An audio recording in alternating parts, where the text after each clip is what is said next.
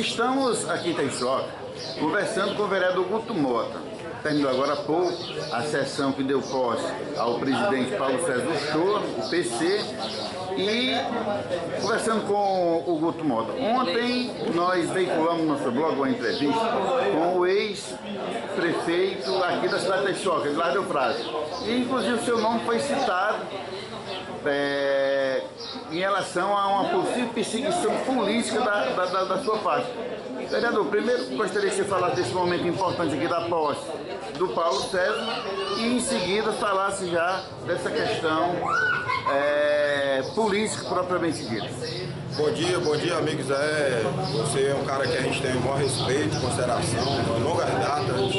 E a todos os ouvintes, ouvintes não, é, na verdade os, os é, internautas do, do seu blog, que é muito é, acessado, a gente sabe disso. E eu queria começar, é, primeiramente, é, não existe perseguição política. O que existe é que o Ministério Público Estadual, o promotor, Dr. Plínio Augusto Pereira de Miranda, protocolou alguns processos contra o ex-prefeito.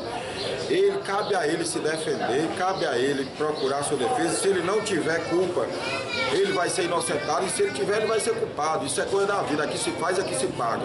Mas não existe nenhum momento de conotação política e nada. Quem protocolou as denúncias foi o Ministério Público foi o Ministério Público Estadual está lá formalizado.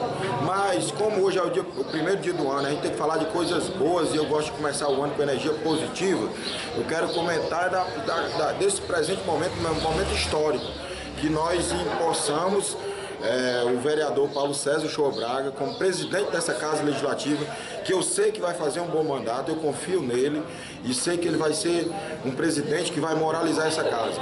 Para não acontecer o que aconteceu nesses dois primeiros anos, do presidente é, cometer uma série de irregularidades, é, de não pagar é, é, amigo Zé da Alegre, não pagar os consignados, que é descontado de nós vereadores e, e hoje no Banco, no banco Bradesco mais de 102 mil de débito fora no BNB e nos outros bancos.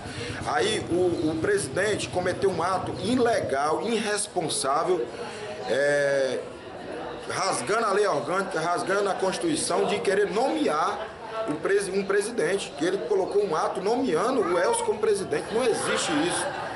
Presidente é para ganhar no voto, não é para ser nomeado não, senão quem mandava era eles aqui. E aí o que é que acontece? É, a gente hoje tivemos um, um, um gesto, uma atitude de democracia que hoje foi empossado o presidente eleito pela maioria dos votos, que dos seis vereadores, os seis estavam presentes, elegeram e empossaram. Então, é, na verdade, é, desculpa, até não quero ser tão agressivo, mas na verdade eles estão esperneando. Porque quando o cabo amarra um bode, que nós somos a terra do bode, é um direito do bode de espernear, porque eles estão só esperneando, porque não tem mais jeito não. O PC é presidente, a partir de hoje, tomou posse, e eles têm que se acostumar, é, saber ser derrotado. Eu acho que eles não admitiram e não aceitaram que perderam. E assim, a vida é assim, a vida é, segue. Se Deus quiser, em 2016 vamos dar outra derrota neles, que é para mostrar que na Tejuçoca ainda tem jeito. Quer dizer, é, como diz o ditado popular, prego batido e ponta virada. PC Já é. eleito, PC eleito, empossado e é o novo presidente para o próximo biênio. Pronto. Oficialmente, regimentalmente, dentro da lei, tudo dentro dos conformes. Ô, Guto, Queria primeiro assim agradecer a disponibilidade, dizer que o nosso blog de Pentecostes está sempre à disposição para o povo da Taissuoca, seja para elogiar, para fazer uma crítica, seja para reivindicar, estaremos sempre à disposição, porque o nosso blog é uma tribuna popular. E eu quero deixar, é, disponibilizar isso para aberto aqui para a Câmara Municipal, enfim, para as pessoas que queiram contribuir, participar, interagir conosco e você é convidado a deixar suas considerações finais dentro desse nosso papo aqui dentro do nosso Eu quero só, para finalizar também, desejar um feliz ano novo, um 2015 de muitas coisas boas, muita saúde, muita paz, que Deus nos abençoe, que a gente. tenhamos um ano bom, principalmente com um bom inverno. E aí quero agradecer vocês é, e, e, a todos que fazem Notícia de Pentecoste, que é um blog bem acessado, e a todos os internautas, a todas as pessoas, desejar um feliz 2015 É, estamos de alma renovada e vamos começar o ano com gosto de gás, pensando positivo e vamos para frente que as dias melhores virão.